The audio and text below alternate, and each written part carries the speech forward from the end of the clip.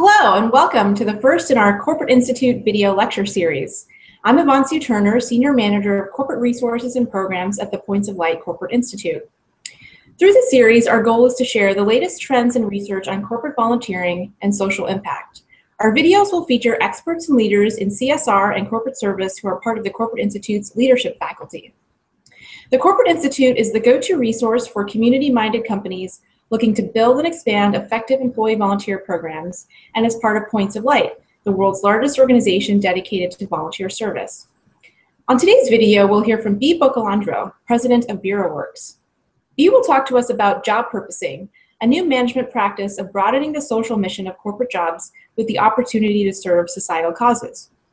We know that integrating purpose into business is a hot topic these days, especially because research says that organizations with more engaged employees are 22% more profitable than those with disengaged workers, according to Gallup. So, Bea, tell us about job purposing.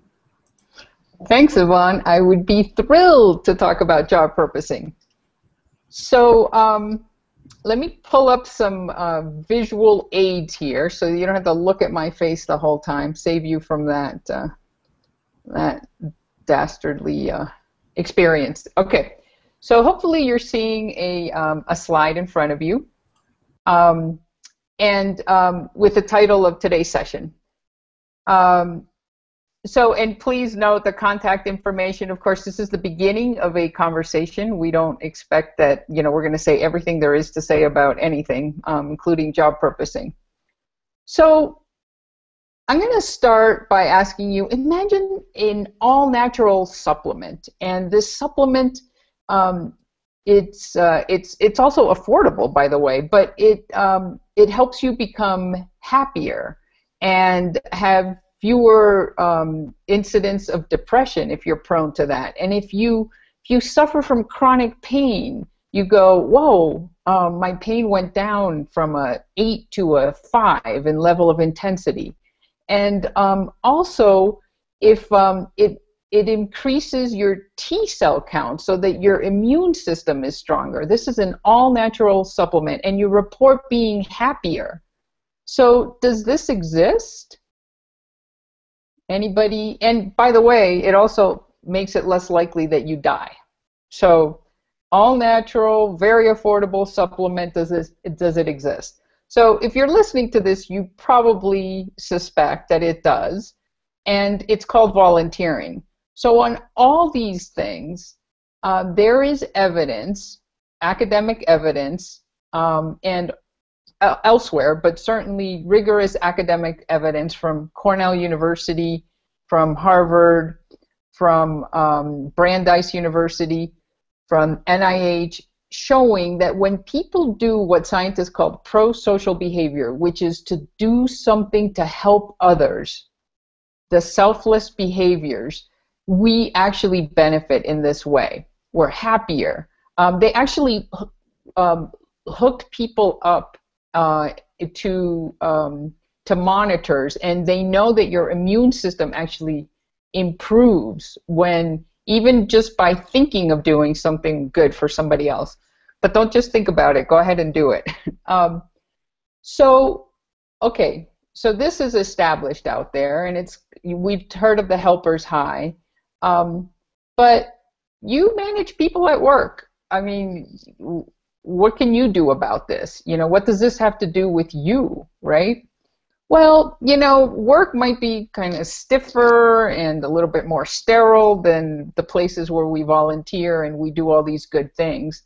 Um, but it's still filled with the same species, humans, the same species that when uh, we do a volunteer activity, we get happier, healthier, more energetic, we live longer, um, all of those things. So, as you would expect, even in the workplace, these things happen, right? And more importantly for managers is that we're learning now that when employees volunteer, um, they are more productive, they're more engaged in work. So Yvonne talked about the disengagement in work and how much it costs companies according to Gallup. So employees are more likely to be engaged, they're more likely to, uh, to stay around. But it's not all volunteering that does this. Now, I should say that almost all volunteering does the make people happier, healthier, all of that. That's been well established. But when it comes to the workplace, it has to be volunteering that materially changes the experience for that worker. So if an, if a worker goes to their PTA on a Thursday afternoon and volunteers there, they're going to be happier and healthier and all those things. But on the next day, Friday morning, when they show up at work, their relationship to their employer is the same, their pride in their work is the same. That hasn't changed. So their productivity is not going to be any higher. Their engagement probably is not going to experience any lift. They're not going to have a stronger connection to their co- coworkers. So when it comes to the employer benefits of volunteering, it takes a specific type of volunteering to generate these types of benefits the higher productivity, the engagement, the work performance, the retention. So, what is that? Well, that's the job purposing that Yvonne talked about. So, job purposing is really a management practice of taking the job and broadening the social mission, pushing it out so that it's doing good things out there for the world. And it does improve these these workplace behaviors, right? So engagement, retention, all of those things. The interesting thing is that if you take two workers, right? So one's disengaged and one's engaged, and you look at them. Well, let's say you take two groups of workers: 100 disengaged workers and 100 engaged workers. Um, the disengaged workers, one of the things that they they they lack is purpose, right? And the engaged, they have purpose. So this is the hard evidence that a purpose job does boost engagement in the way that Yvonne talked about earlier. The interesting thing is that it happens at a primal level. It it's not something that the disengaged worker here in the on the left has any consciousness of. They're not thinking, well, I know why that guy over there is much more engaged than I am because he, you know, has a purpose job, which means that, you know, volunteering is incorporated into his everyday job, and I don't. So um, that's what's going on. He's much more likely to think what's on the slide, which is like, what the heck? Why is this guy so much happier, more productive than I am? He must be doping. Like there, he's got some unfair advantage here we are not aware of the powerful effect that volunteering has on our workplace performance. So the way Frans de Waal put it, and he's a primatologist, is this way.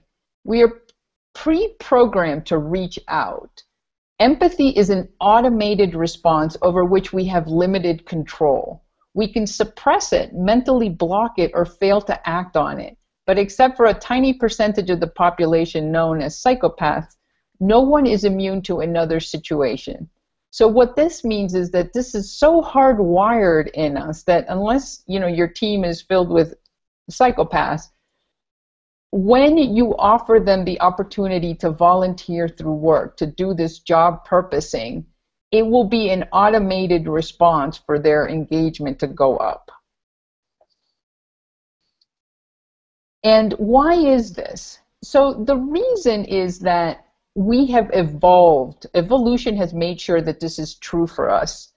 Um, we have evolved this way. So as as solo beings, we are pathetic as humans, right? I mean, we can't bring down a woolly mammoth. We can't even we can't keep one eye open like ducks do and sleep. We need somebody watching the you know the cave to make sure that nothing comes in in the middle of the night. We need to take turns.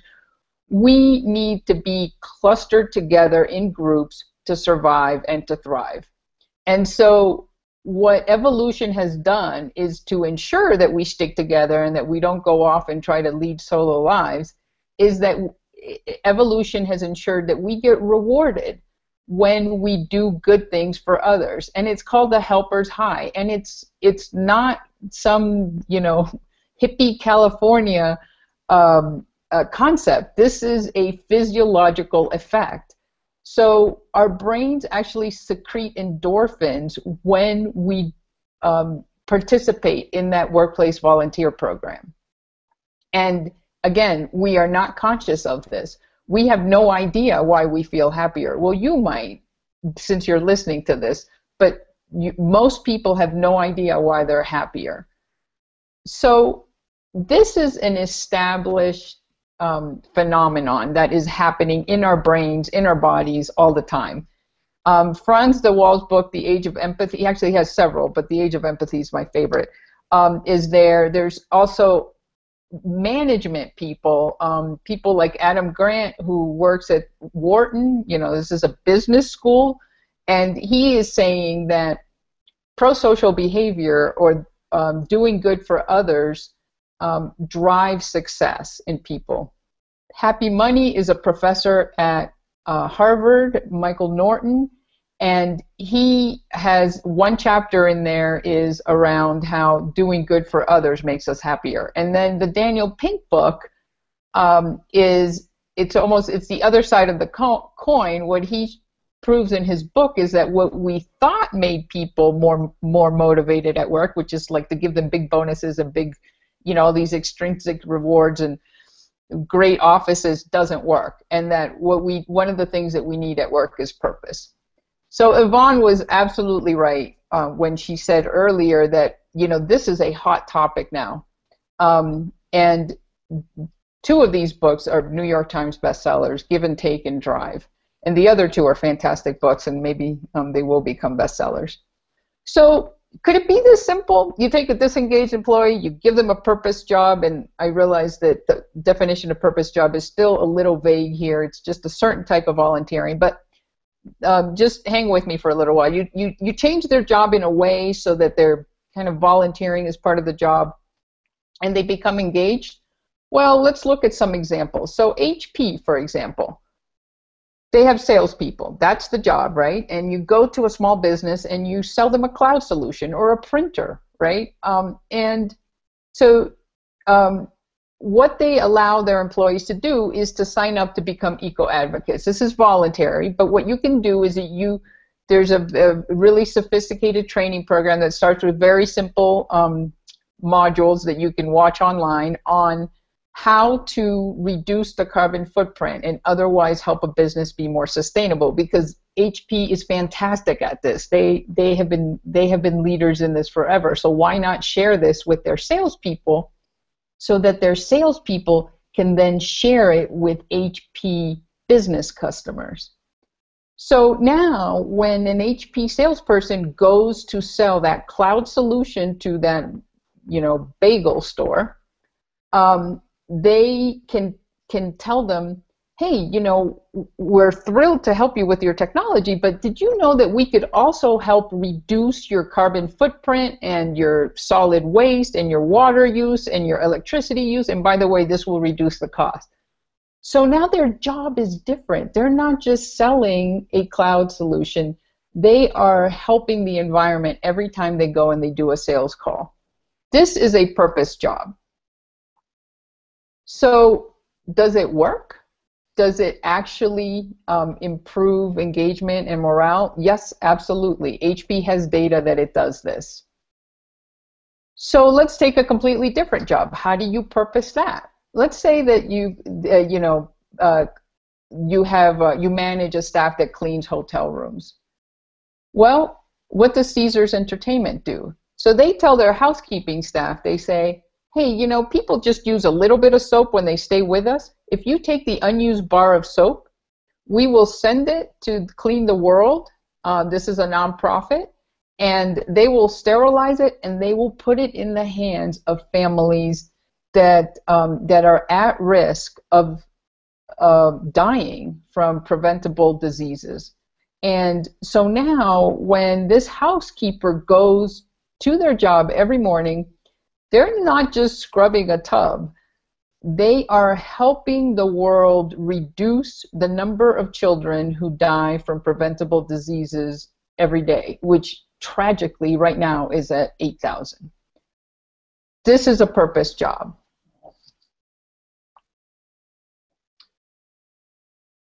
and and Caesars Entertainment has data showing that engagement is higher for employees that participate in these types of programs as well. Let's take a different job. Let's say that you go door to door and you sell cosmetics. So how do you purpose that? Well, Avon has been doing this for a very long time. They are pioneers really in purpose jobs because they thought, you know what? Um, we help women with beauty. That's where they started, right? And then they realized, you know, there are the the medical community isn't doing a great job at helping at helping women understand the importance of um, of preventive actions in terms of breast cancer. So we can do that because we have very intimate conversations with women. I mean, we talk to them about, you know, they don't like the way their chin looks, and and so we have this opportunity to make that conversation one about health.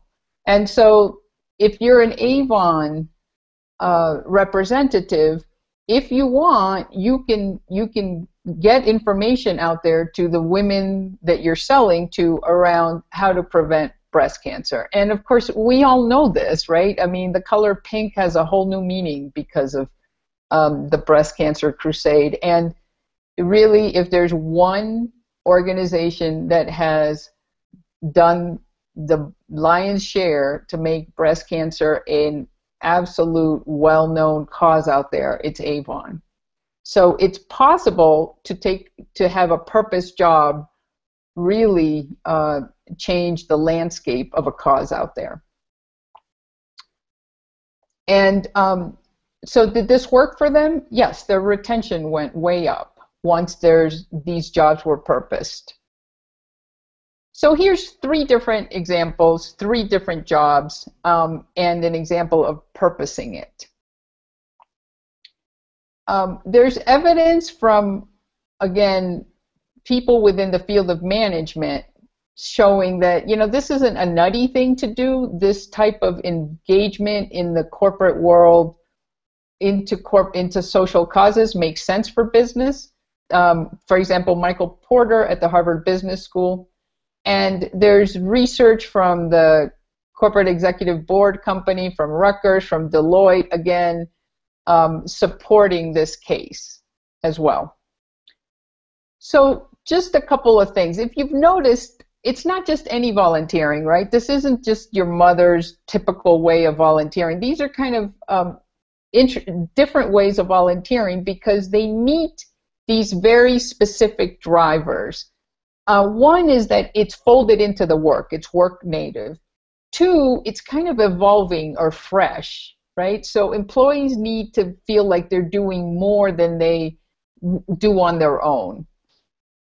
It works much better if you want that bounce in engagement, that increase in retention, all those workplace things, for the volunteering to be group based. It works much better if employees know the good that they have done. So if they have a sense, if they have that child in front of them that just learned to read, that's better than if they don't, or if at least they get um, they get a follow up on what happened to that child. Um, so if it's impact evident, um, it works much better. It's best to keep it volunteering, although don't shy away if you're a manager from saying, hey, what if we all, you know, um, take on a cause this fall and help with that. Um, so you can be heavy-handed, but don't completely corner people into volunteering. So keep it voluntary. That helps. The interesting thing is that even if it's not voluntary, you'll still get the bounce and engagement. It just won't be as high. Um, and then let employees have some say in it. Let them design what it is that you do. So, you know, in the HP case, you know, the salespeople really had a lot to say about what the eco advocates ended up being, for example. So um, let them put their own mark on what the purposing in the job is. So um, that's job purposing in a nutshell, very, very quickly. Um, of course, as the beginning of the conversation, um, I do have a blog on this, and you're welcome to go to it. It's at bboccalandro.com, and then Points of Light has tons of great information on how you can bring in volunteering into the workplace that can help you as well. So um, and you know just go to pointsoflight.org. Um, let me just uh, end with one closing thought. So there was this man a few decades back, and he interviewed 130 workers, in-depth interviews. And here's an excerpt of his summary. He said, "Work is about a search for daily bread, for cash. In short, a sort of Monday through Friday sort of dying." Fortunately, this is only half the story, the dark side of his conclusion after interviewing these 130 plus people. Before I tell you the brighter side of his conclusion, let me just reiterate what it is that Yvonne said early on. And that is that the majority of workers are disengaged. So they are here. They are just working for their daily bread, for their cash. They that's that's what it is for them. It's a transaction. They are disengaged. They are mired in this dread right now. So Gallup says three out of four workers globally are here. So maybe this isn't half the story. Maybe this is mo- the majority of the story.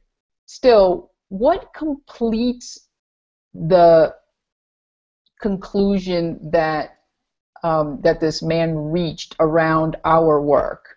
So this is the complete quote. Work is about a search for daily purpose as well as daily bread, for recognition as well as cash, for astonishment rather than torpor. In short, for a sort of life rather than a Monday through Friday sort of dying. And yes, the man who did these interviews is not just anybody, it's Studs Terkel. So this is the Pulitzer Prize winning uh, oral historian and author who said this. So those we manage were kids at some point who likely said something like, when I grow up, I want to be a pilot or a sales rep or a scientist. However they ended that sentence, they beamed with pride for the worker they would become. Regardless of how they feel about their job today, you can job purpose you can make their childhood dream come true. Thank you. And I will turn it back to you, Yvonne. Great, thank you so much, Bea, for that wonderful presentation, and what an inspiring uh, end at the at the end there. I have a couple questions for you. So we've uh, we've heard a lot about millennials, and we've seen a lot of research about millennials and engaging in work, and how millennials are really driven uh, by this search for purpose. And I'm wondering how can how does job purposing apply to all the generations? Yeah, well, um, job purposing applies to millennials better than anybody else because I think we're all millennials, actually, in that we all expect more from life than just a job. But unfortunately, the rest of us, a lot of the rest of us, have that like more um, buried underneath other things. So millennials, I think, are the one. In a sense, they're just being more authentic to this true core. Um, and I, I will say that um, there is a so I teach at Georgetown, right, and that's overwhelmingly millennials in my classroom, and they're a little bit like, duh. Well, of course, like, why haven't we been job purposing? Really, like, you guys didn't have this when you were, you know, when you started your jobs. Like, they expect this. They expect that whatever job they had, even if if if what they wanted to do was to design dresses and um, and they end up working for a fashion designer, they they they expect that that job will matter in a bigger way than just ending having a dress end up in a high-end store. They have this expectation more naturally. I think they're just more in touch with um, kind of an ancient yearning in all humans, and the rest of us have kind of lost touch with that. And there's lots of evidence, as you know, showing that millennials are demanding this. Yeah. And uh, what is uh, one concrete next step that managers at companies can take to implement job purposing in, in their workforce?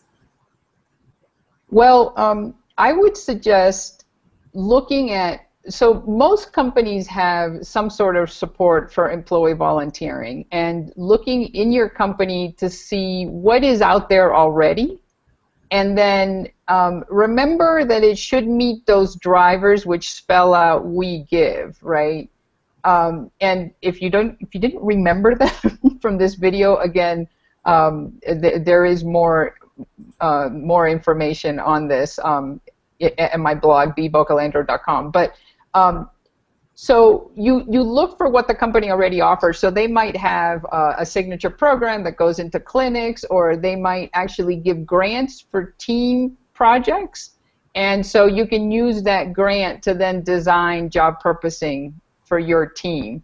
Um, the one thing I would I would say is that remember that not all all volunteering is great. So if you just get your team to volunteer, that's fantastic. But if you wanted to be job purposing because you really wanted to improve their engagement, um, don't feel shy about modifying what it is that the company already does so that it is more job purposing. So if it isn't, let's say they have a board service program, and that's that that would be a great thing for your team because you have a very high-end team.